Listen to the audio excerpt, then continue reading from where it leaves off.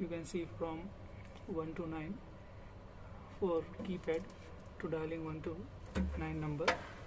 And this is a display. Here is home button. This is uh, escape key and user key. This is for buzzer silence and this is for enter. And here is a key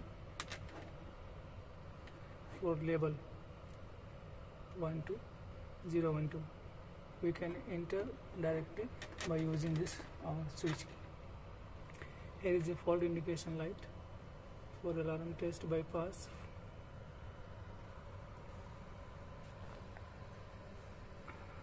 The screen here is a signal off signal on and reset. This is used for reset fire alarm control panel.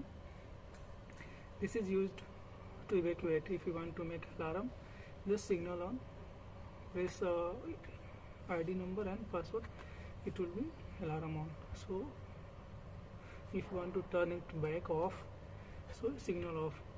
To silent alarm you can use signal off here is status bypass fault control and fire. If there is any fire it will indicate here that three fire fire and if there is any uh, supervisory fault it will be showing control. It means if there is any control module activated or fault it will show in control.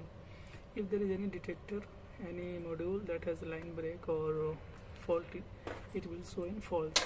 And if you have made any device bypass it will show here in bypass uh, category. And here is the status. If you want to check any status you can press here to see the status of any device